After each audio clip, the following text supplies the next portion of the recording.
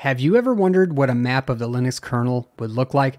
Well, look no further because there's an open source project for it and you can explore it yourself. I'll make sure to post a link in the description below so you can check it out as well. This is from makelinux.net and it is an open source project that you can actually scroll across and scroll into and view the various different layers and interfaces that belong to the kernel.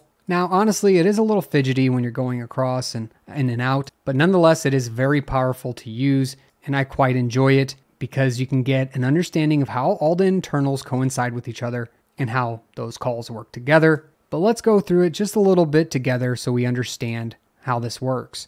I do want to make a small shout out in this update video as we received an update from the original creator. In the last video, the first comment I saw here was as the daughter of the creator of the map, Constantine, I really appreciate the video. Thank you so much. And I replied to them saying that was awesome. And then I actually got a reply from the creator. SavvyNik, with pleasure, thank you for your wonderful review. And your review motivated me to make an update to the map, which thanks again, Constantine, for making this available to all of us. The update is fantastic. I'm going to show you a few cool things that you can do with this kernel map now that you couldn't before. But let's go through the various subsystems or what I like to call subsystems. First up here, we have different functionalities that are labeled. So human interfaces or how the user interacts with the system. We have system, processing, memory, storage, and networking.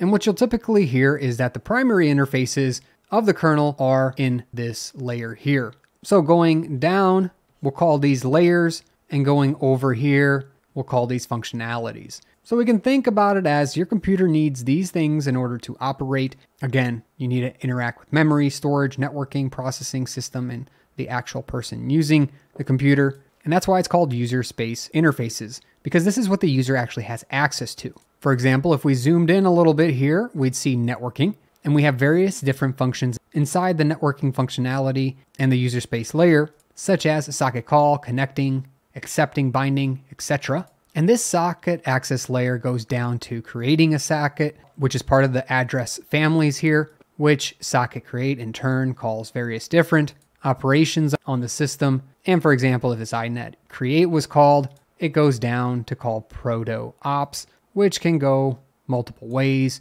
and create an inet diagram operation or an inet stream operation and skips right through this section and goes down into protocols. And it keeps stepping down really all the way until you finally hit the actual device drivers which access the hardware. Yes, it's complicated, but that's why we have this kernel map, and a fantastic one at that. Also, this is the fantastic part about Linux and why it's so great, because you have access to all these layers. It's not a mystery, unlike Windows. The Windows kernel is a very big mystery. Not many people understand what's in it, how it works, what you can call. And I want to take a moment to say a special thanks to all the people who helped develop the Linux kernel, maintain it, make documentation, and contribute their time and effort into building this wonderful kernel for us, free and open source. And then also a special thanks to Constantine and the amount of time they put into building this. Now we can actually click on the various different functionalities and layers. If you want to know more about the human interface layer, you can actually click on it and then you're going to get more information about that human interface layer. This is fantastic because it talks about character devices, so we can learn about what character devices are and how they're used, including the various different things that interact with the human interfaces. If you're unfamiliar with, let's say, virtual memory, you can also click that, and then we have even more information about the memory functionality in the virtual memory module.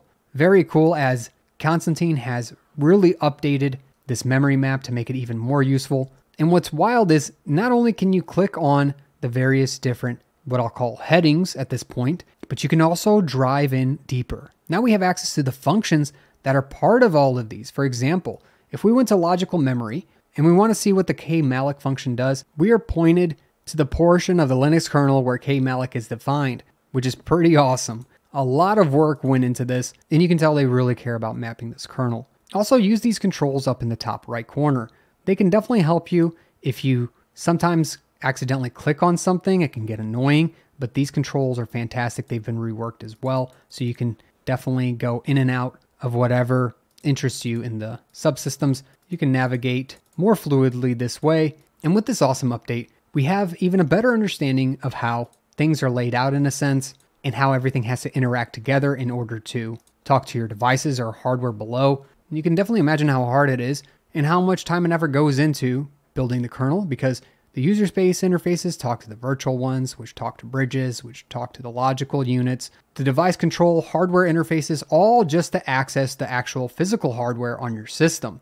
Now, that's a lot of layers. And not only that, but it works opposite if you have to have information come back, you have to talk back up the layers and back up the chain in order to get information back through user space to the actual user. For example, in the virtual layer, we have security, driver model, threads, virtual memory, virtual file system, and address families, which this virtual layer here is just is a transport space really between the user space and some of the lower level features of the kernel. After that, we cross the bridge, which features more modules such as debugging, synchronization, memory mapping, page caching, swapping, network storage, and socket splicing. Sometimes you don't have to go over the bridges, instead, you make it straight to the logical unit where functions actually get implemented through drivers or devices, which are both located in the device control and hardware interfaces. In the logical portion, we have high subsystems, system run scheduler, logical memory, logical file systems and protocols, device control, grants us access to various things such as abstract devices and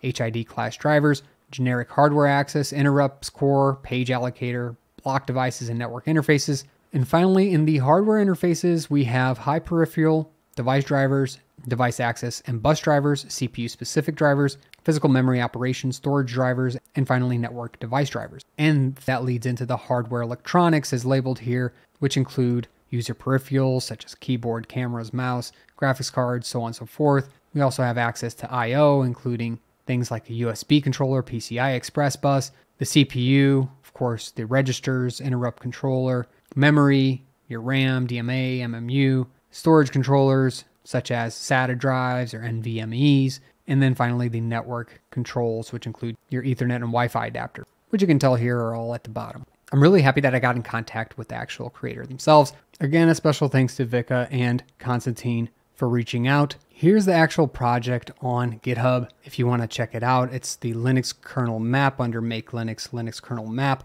There's also a second diagram that I want to get into. This is also a great one, not quite as detailed and not as updated, but it is called the Linux kernel diagram. This one is better if you don't necessarily care about the individual functions that are part of each layer or functionality that are given to us by the kernel. Instead, this clears things up a little bit and makes it a little easier to follow. Very similar concept here. We have rows and then columns, which are known as functions and layers. And this one's really cool too because you can actually scroll and zoom in as well as click on some of these to figure out what functions are available, but they don't show up directly on the diagram. It's absolutely fantastic what open source brings us. Make sure to thank an open source developer today for all their hard work and time they put in to make our lives a little easier. And make sure to go down in the description below and bookmark this so you can use it in the future. If you have any questions, comments, make sure to post them in the comments section below. I'll be looking out for more updates as they come. And if you want to as well, make sure to subscribe below in order to get those updates as soon as I post them. Catch me in a great community on Discord, and I'll catch you in another video. Thanks for watching. Linux can be hard to understand, but I take the most commonly used terms, commands, and subjects in Linux and I break them down into simple to read documents, including Linux terms, flashcards, a checklist, a cheat sheet, and a mind map. And if you're ready to level up your Linux experience and knowledge, go to learn.savvynik.com now and get access to these sheets.